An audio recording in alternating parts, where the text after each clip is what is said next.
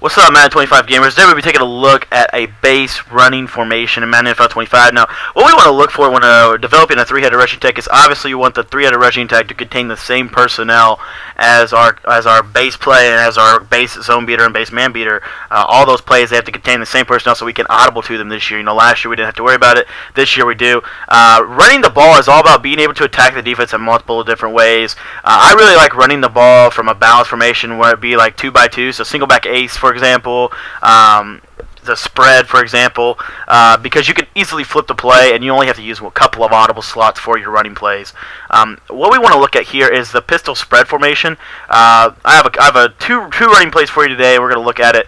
Um, the main run is going to be the read option from the pistol, um, pistol pistol spread, and uh, then our backup run is going to be the halfback counter.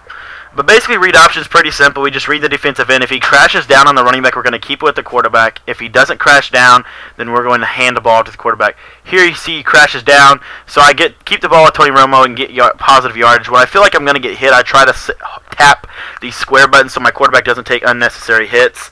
Um, and now we're going to see that when he does play the quarterback and doesn't go after the running back, we're going to get big positive yardage up the middle of the field with DeMarco Murray. And this is going to basically uh, account for our whole rushing attack, because we can flip the play, we can run it to the left side. So you see there, they play the quarterback, and then we get you know DeMarco Murray up the middle for five yards. And then now you'll see if they play the running back, we'll just keep it with the quarterback here and get outside with Tony Romo for big positive yardage. So that takes care of an inside run left and an inside run right, and also an outside run right and an outside run left.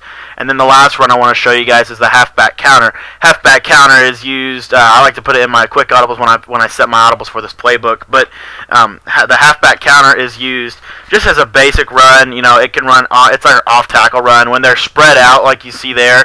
Um, in situations where they may be in dime package or something where they're spread out trying to defend the spread, we can easily use these halfback counters left and right to force the defense to have to kind of come down on the halfback counter. And when they do that, we'll be able to hit them with the read option. So you want to use the counter. Um, you want to find when you're developing running formation, you want to find a run that can kind of run as a balanced run, consistent three, four yardage, uh, three or four yards against basic defenses.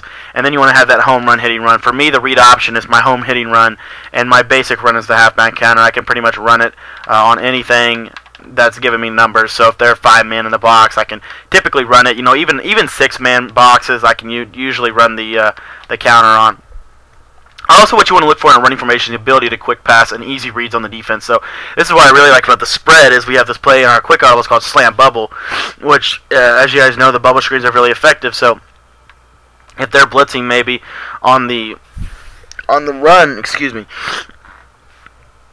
if they're maybe blitzing down on the run, we're going to be able to hit these quick bubble screens to the outside and um, get positive yardage, you know, off of the running plays that we're going to be using. So, you know, again, it's really essential to have a decent running attack, but also you, you got to have quick passes off of it because if they're able to commit to just stopping the run out of this formation, you're not going to be good enough. So you have to, again, use quick passes, use different things. You know, I like to put running backs on streaks this year for quick passes and just lob it to them out of the backfield and you know give DeMarco Polo uh, a lot of room and space. So this is the basic running formation, guys. This is how I like to use three-headed rushing attack. Like I said, you know, out of the pistol spread, obviously you're not going to be a really run-first team when you're running a spread offense, but it's always good when they're giving you numbers and the and they you know they are stacking uh, against your wide receivers when they're spread out to use this, but in plays where they're not spread out, it's easy reads, and we can quickly deliver the ball to a bubble screen or something to the outside if they're not honoring it.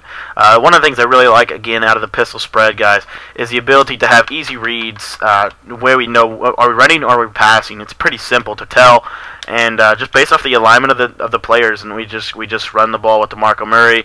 If they give us a good look, and if they don't give us a good look, I like to throw bubble screens. I like to throw quick passes. You know, turn bubble screen into a curl flat combination here. Uh, you know, just do different things with your passing out of this formation. It's not designed to be a, a primary passing formation, but certainly you have to have a little bit of something uh, from your passes to be able to beat blitzing defenses and stuff like that when they start to commit to the run. Thank you guys for watching today's three-headed rushing tech, and you can apply this to your your offense uh, based off of your personnel and what formations you have in your playbook. If you guys have any questions about three-headed rushing attack or why we use it, how we like to use it, please let me know in the comment section below. Thanks for watching, guys. Be sure to follow me on Twitter. If this if you enjoyed the video, be sure to share it on Twitter. For those of you who are new and you don't know everything that we do at the YouTube channel, we do tips, strategies, guides, tutorials, and also some fun videos giving you a little bit more in-depth analysis of Madden 25. Thanks for watching today, guys. We'll see you later.